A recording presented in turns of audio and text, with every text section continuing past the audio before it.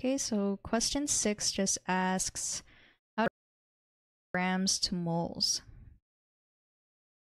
Grams to moles.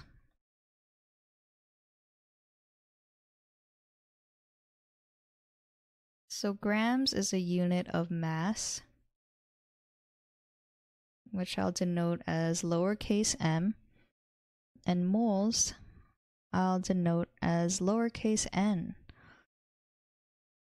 So to solve for number of moles, it would be mass over molar mass.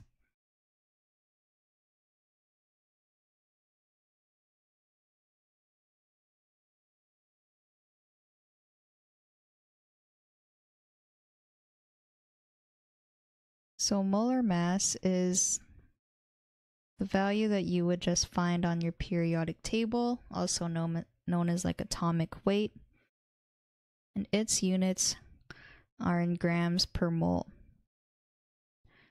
So if a question gives you a mass in grams, if we know the molar mass of the compound, all we would need to do is divide by the molar mass. You'll notice the grams should cancel out, and we are just left with our moles.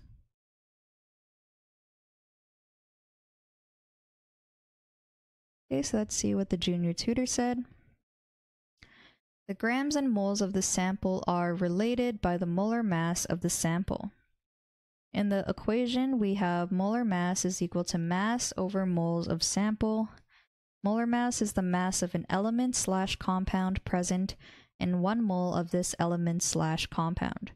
Molar mass can be found on the periodic table. For compounds, the molar mass is simply the sum of all the molar masses of the elements present in the compound. After identifying the molar mass of the sample, the mass can now be converted to the number of moles using the equation given above via moles of the sample is equal to mass over molar mass. So it is a big factor here to identify first the molar mass of the sample before we can convert it into moles. Yep. So this solution is correct.